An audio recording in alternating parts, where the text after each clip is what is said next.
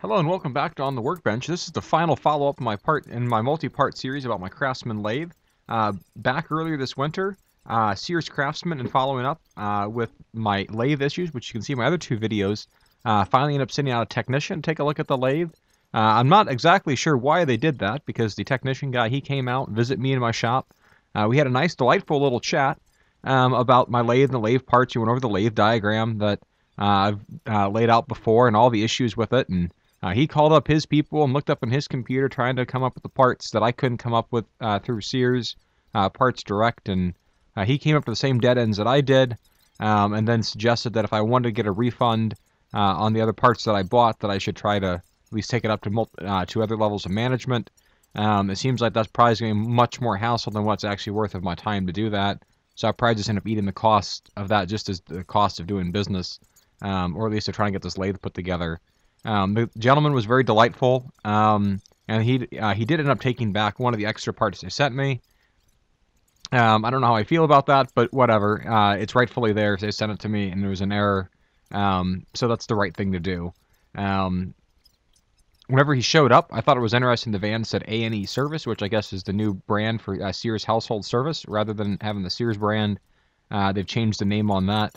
Um, and in talking to this guy, it sounds like a lot of the warranty work that he does is actually on lawnmowers and small engines more so than tools. He didn't seem to have a very uh, strong knowledge about exactly how to repair tools because I guess uh, there are very few tools these days that Craftsman sells that qualify uh, for the free in-home service, uh, other than a the large bandsaw, table saw, uh, this lathe, uh, and maybe a couple other older tools. But there's not many floating around uh, anymore that are still sold that uh, are at the right price point to be able to qualify for home service.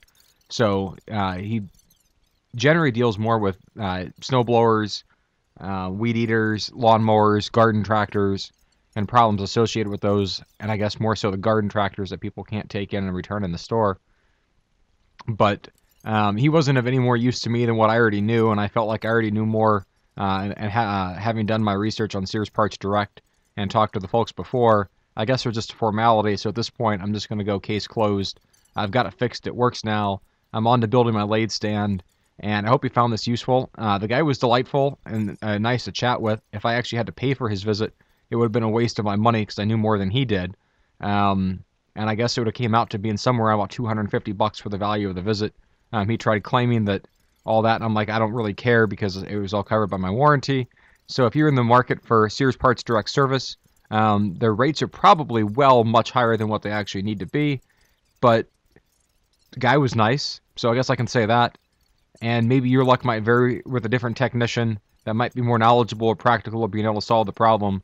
But uh, as far as my thoughts going forward, I still think I'm better off if I can do the research myself on Sears Parts Direct or other manufacturer websites and getting the parts myself than what some other technician guy will be that would want to charge way too much uh, money for his time um, and isn't able to do the research as well as I can.